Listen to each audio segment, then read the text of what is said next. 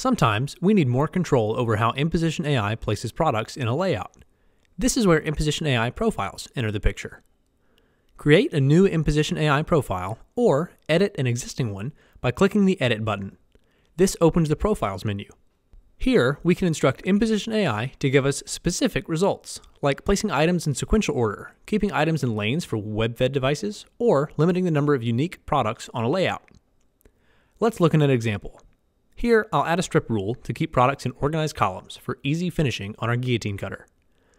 I'll use the vertical cut strategy to ensure Phoenix knows I want my first cut to be a vertical one, and I'll add a strip rule so that each product is placed on a strip by itself with a gap between differing products.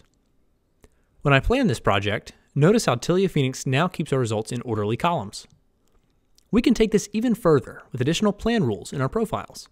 Here, we can set anti-mixing rules for products using any property, such as size or due date. This would ensure that products with a certain due date aren't mixed with others with a different date.